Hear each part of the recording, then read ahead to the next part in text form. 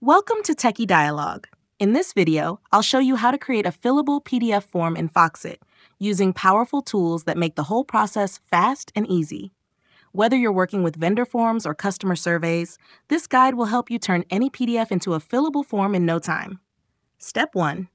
Open your document in Foxit PDF Editor. This could be a scanned form or a Word file saved as PDF. Go to the Foxit eSign tab where you'll find tools to add text, check marks, lines, and checkboxes. Use these tools to fill in your details and check the boxes, then drag your signature into place to sign the form. Step 2. If you're starting from a Word document like a customer survey, open it in Foxit PDF Editor.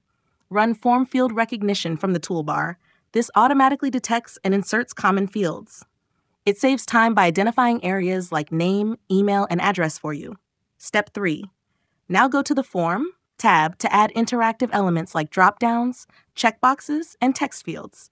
Click on the combo box icon, and your cursor becomes a crosshair. Draw it where you need it. Right-click the box, choose Properties, give it a name, and check Required if it's mandatory. Step 4. Go to the Options tab in the same window and add each item you want in the drop-down list.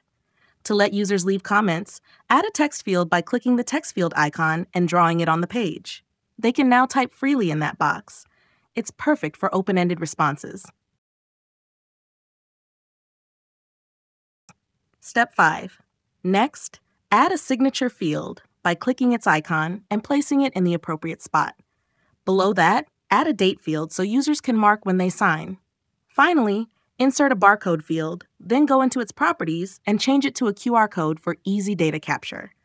Thanks for watching, and don't forget to subscribe to Techie Dialogue for more helpful videos.